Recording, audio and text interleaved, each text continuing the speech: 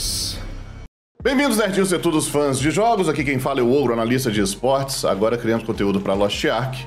E me pediram para fazer um tutorialzinho sobre Stronghold, que é a sua ilha pessoal, tá bom? Como é que ele funciona.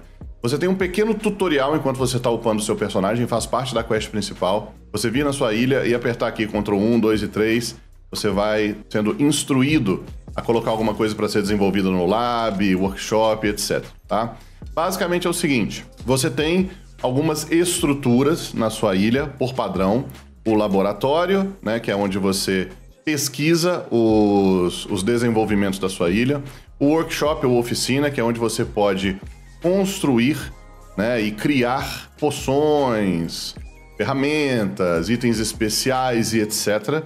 Você tem a station, é meio que um porto, que você pode usar para enviar os seus barcos e os seus marinheiros em expedições.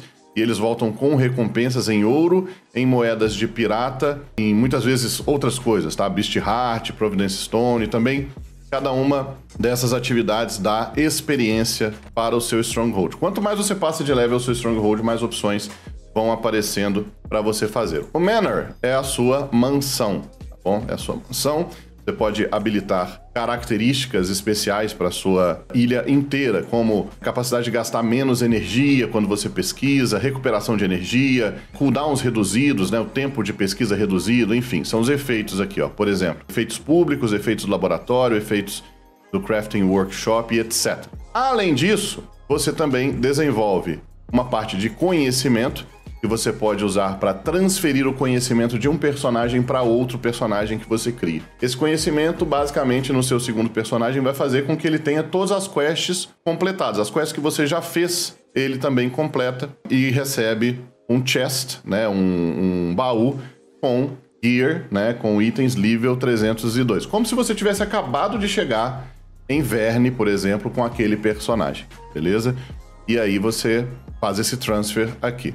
Você tem também o Training Camp, a partir do level 52, onde você pode colocar um personagem lá treinando e esse personagem vai recebendo níveis automaticamente, sem você ter que precisar ficar upando ele manualmente. Então, essa sua ilha aqui, além de você poder decorar essa sua ilha do jeito que quiser, você constrói aqui, coloca personagens NPCs, o que você quiser fazer para decorar essa ilha, para deixar sua casa. Se quiser fazer um parque de diversões aqui dentro, você pode. Além disso, você tem mercadores que são itinerantes, eles vêm para sua ilha e ficam aqui nessa mesinha para você conversar.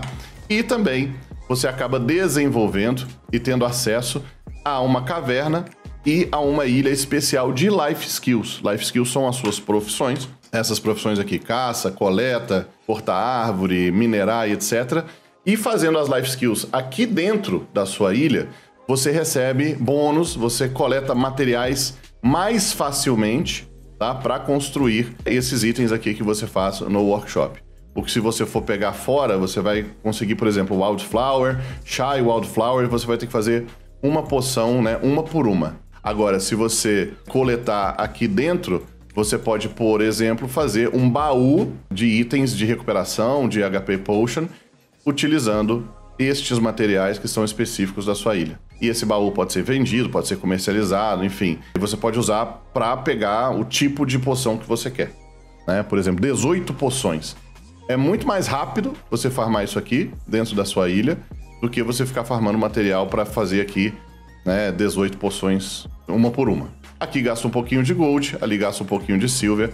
Aí você vai tendo também opções para você poder fazer dinheiro, né? A longo prazo, a sua stronghold é uma máquina de fazer dinheiro. Então vale a pena você sempre, sempre, sempre vir aqui, tá? Na sua ilha, utilizando a canção Song of Heart and Home. Você vem na sua ilha, você aperta o Ctrl 1 e você deixa fazendo alguma coisa no lab, tá? Não precisa se preocupar com isso enquanto você está upando, mas sempre deixa aqui alguma coisa pesquisando, né? Para que você tenha progresso sendo feito sempre e não fique parado no tempo. É porque uma hora você vai acabar precisando desses recursos, beleza? Espero que vocês tenham gostado do vídeo. Deixe o seu like, compartilhe, se inscreva no canal. Lives todos os dias em twitch.tv barra jogue como ogro. Um beijo do ogro. Nosso conteúdo é diferente.